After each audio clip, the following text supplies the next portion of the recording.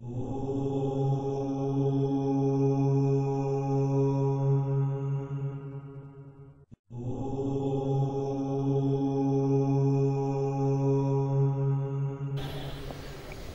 గురుభ్యో నమ. అదేవిధంగా తులసిని మన అందరం కూడా ఇంట్లో పెట్టి ఆరాధన చేస్తూ ఉంటాం. అనేక పర్యాయాలు ప్రతిరోజు కూడా తులసిని నమస్కారం చేయడం తులసి దగ్గర దీపారాధన చేస్తూ ఉంటాం. అదేవిధంగా ఒక పని కూడా చేసి అమ్మవారికి ఆగ్రహానికి కూడా గురవుతూ ఉంటాం. ఏంటంటే అవనంటే తులసిని ఆరాధన చేయడం మహిళలకు ఎంత ధర్మమో అదేవిధంగా తులసి దళాలను తెంచడం కూడా అంతే పాపం. ఏ సందర్భంలో కూడా కోటలో ఉండేటువంటి తులసి దళాలను తెంచడం మహాపాపాన్ని దారితీస్తుంది. దానివల్ల ధనం కూడా అంతరించిపోతుంది.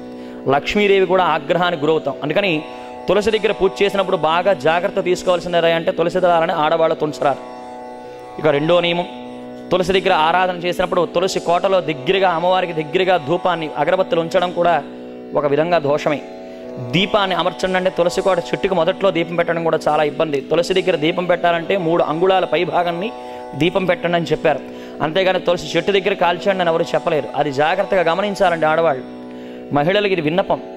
ఎందుకని అంటే తులసి దగ్గర దీపం పెట్టండి. చెట్టు మొదట్లో పెట్టి తులసిని కాల్చడం ద్వారా మహాపాపాన్ని కూడా మూట కట్టుకుంటున్నాం. తులసి దగ్గర దీపం పెట్టాలంటే మూడు అంగుళాల వ్యత్యాసం ఉంచి దీపం పెట్టాలి. తులసి దగ్గర ధూపం సమర్పించాలంటే మూడు అంగుళాల వ్యత్యాసం ఉంచి ధూపాన్ని పెట్టాలి. తులసి దళాలను ఆడవాళ్ళు ఏ సందర్భంలోనే కొయ్యకూడదు. ఈ మూడు జాగ్రత్తలు పాటించండి. తులసిమాత దివ్యానుగ్రహాన్ని కూడా పొందండి.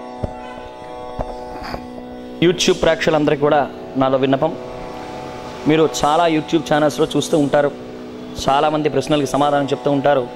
కానీ ఏది ధర్మబద్ధంగా ఉంటుంది? ఏది ధర్మానికి నిదర్శనంగా ఉంటుందో వాటినే మీరు అందరూ అనుసరిస్తారని కోరుకుంటున్నాను.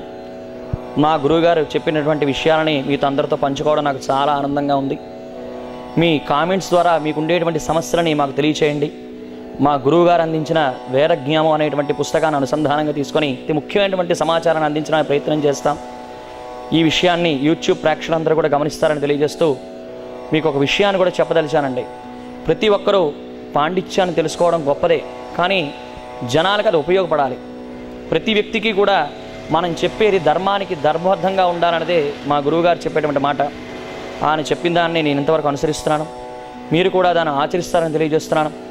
దయించి అసందర్భంగా అధర్మంగా ప్రవర్తించేటువంటి వాళ్ళని మీరు ఎంకరేజ్ చేయకండి.